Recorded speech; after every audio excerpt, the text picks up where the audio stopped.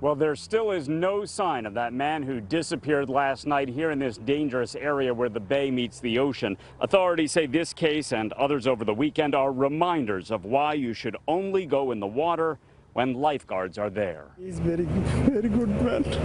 He's, uh, we are three brothers. He's my younger brother. On the Ocean City beach near where Jabed Iqbal vanished in the surf, his loved ones praying for a miracle. We are Muslim. We, we believe in Allah. We still believe Allah returned him safely with us. From the air and on the water, authorities continuing to search for the 24 year old who'd been splitting his time between Clementon, New Jersey and Brooklyn, New York. Disappeared in the Great Egg Harbor Inlet Sunday evening after going into the water to help two struggling family members. They made it out safely. Iqbal did not.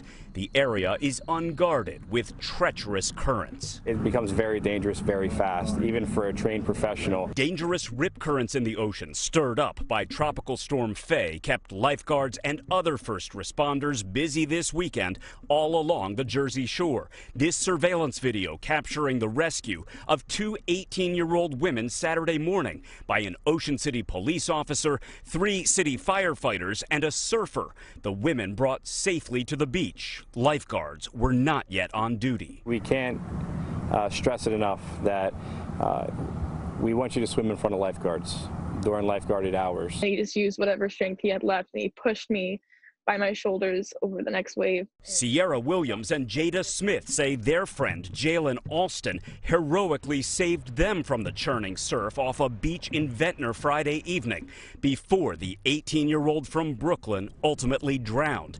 His body found the following day. He gave me like a second chance, and I want to use that second chance in the name of him.